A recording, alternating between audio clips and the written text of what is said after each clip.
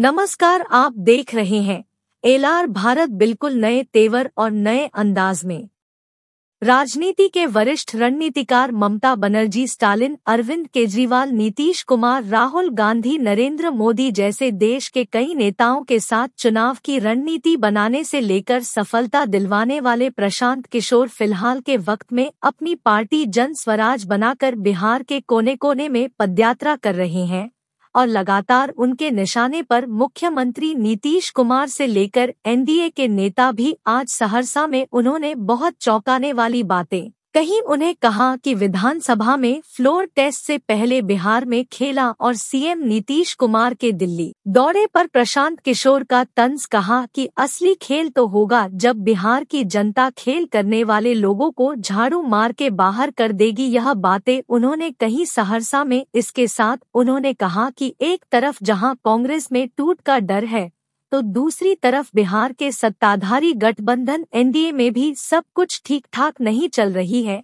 इसी बीच प्रशांत किशोर नीतीश कुमार पर हमला करते हुए कहा कि बिहार में कोई भी खेल हो जाए, आपको शायद जानकारी हो कि बिहार में 2012 के बाद यह नीतीश का छठा से सातवां प्रयोग है केंद्र में, चाहे यूपीए की सरकार हो या प्रधानमंत्री नरेंद्र मोदी की सरकार हो, बिहार में नीतीश कुमार चाहे महागठबंधन के साथ रहे या अकेले रहे या फिर भाजपा के साथ रहे, इससे बिहार में क्या बदल गया? जरा बताइए। प्रशांत किशोर ने क्या कुछ कहा है? पहले आपको सुनाते हैं। मेरे भाई देखिए, कोई भी खेला हो, आप मुझे बताइए यहाँ पर 2012 के बाद अभी मैंने आपको गिनवाया, ये छठवां, सतवां सरकार का प्रयास है। क्या फ़र्क पड़ गया? चाहे केंद्र में यूपीए की सरकार हो या केंद्र में अभी मोदी जी की सरकार है। बिहार में चाहे नीतीश कुमार महागठबंधन के साथ रहें, अकेले रहें या भाजपा के साथ रहें, बिहार में बच्चों के पढ़ाई की व्यवस्था तो हुई नहीं। बिहार में चीनी मिल तो चालू हुए नहीं। बिहार में लोगों को रोज़गार मिला नहीं। पलायन थमा नहीं।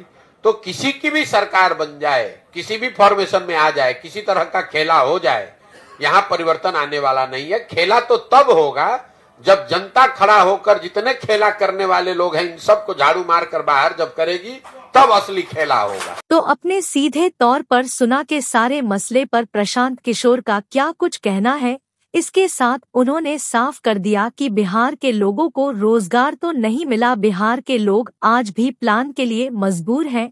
बिहार में किसी की भी सरकार बन जाए, चाहे किसी भी तरह खेला हो जाए, बिहार में परिवर्तन आने वाला नहीं है। बिहार में खेला तो तब होगा जब बिहार की जनता खुद खड़ा होकर जितने भी खेल करने वाले लोग हैं, उन्हें झाड़ू मारकर बाहर करेगी, तब असली खेल होगा आप। देखना होगा कि प्रशांत किशोर के हमले का जवाब खेला करने वाले भाजपा जदयू के। लोग किस लहजे में और किस तरीके से देते हैं? फ़िलहाल अगर आपने हमारे चैनल एल आर भारत को सब्सक्राइब नहीं किया है तो ज़रूर कर लीजिए, देखते रहिए एल आर भारत, नमस्कार।